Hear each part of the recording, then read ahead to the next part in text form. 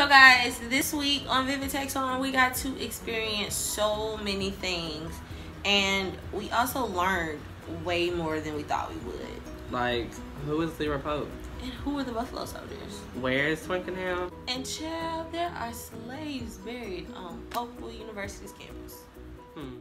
In December of 1808, Governor Robert Williams of the Mississippi Territory decided that the land should be sold at a public auction during August and September of 1809. The 60 acres of land surrounding the Big Spring were purchased by Leroy Pope, a planter of the Broad River area in Georgia, for $23 an acre. The area was chosen as the county seat by a special commission. The town was first named Twickenham as requested by Leroy Pope after Alexander Pope's English home. A special act of the territorial legislature on November 25, 1811, changed the name from Twickenham to Huntsville in honor of the town's first settler.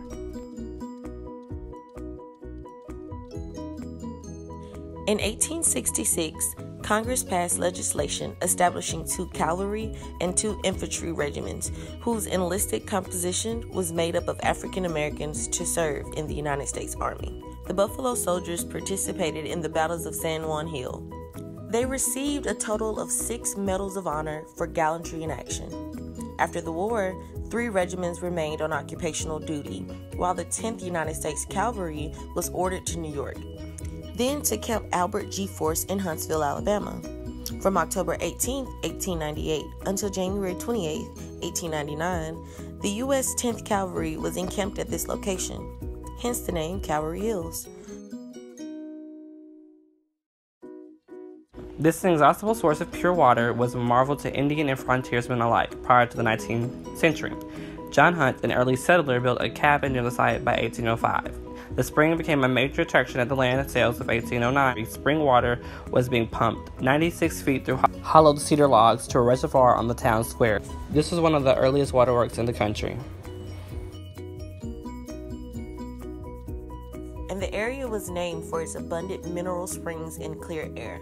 People have visited Montesano's mineral springs since the early 19th century to improve their health and escape the city. In the 1820s, a small town named Viduta, which no longer exists, was established on the mountain. The Hotel Montesano, a three story queen annex style luxury health resort, opened in 1877. Guests were transported to the hotel by the Montesano Railway, which deported from downtown Huntsville and climbed to the top of the mountain. They hosted many famous guests such as William H. Vanderbilt, Helen Keller, and many more.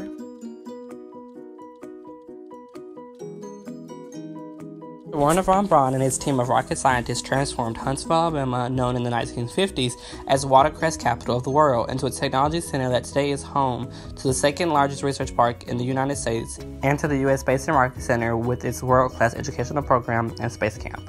It's here in Huntsville that rockets were developed that put the first U.S. satellites into orbit.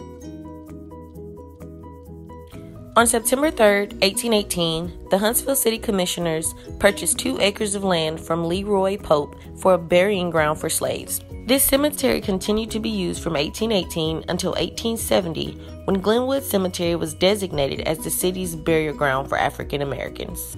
On the campus of Oakwood University, which was once a plantation but is now a university that develops some prominent African Americans.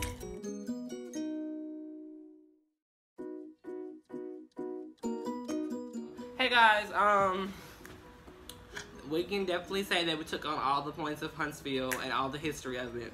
All of mm. it. Make sure you hit us up next week for the concerts in the park. And we will definitely be getting an interview from DMR. He just don't know it yet. And don't forget to like and subscribe to this video and comment, of course.